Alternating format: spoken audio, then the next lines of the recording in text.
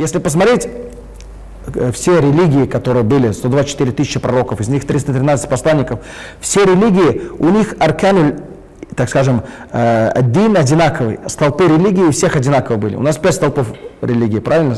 Это первое. Свидетельство того, что нет Бога, кроме Всевышнего Аллаха, достойное поклонение, то, что Мухаммед, раб, посланник Аллаха. Во времена Иисуса, алейхиссалям, говорили, мы свидетельствуем, что, что нету э, иного Бога, достойного поклонения, кроме одного Бога, и то, что Иисус раб и посланник Аллаха. Во время Муса, алейсалям, свидетельствуем, что нет Бога, кроме э, Всевышнего, одного единственного Бога, свидетельствуем, что, что Моисей, раб, посланник Аллаха. То есть у всех это одинаково. Второе, ассаля, молитва.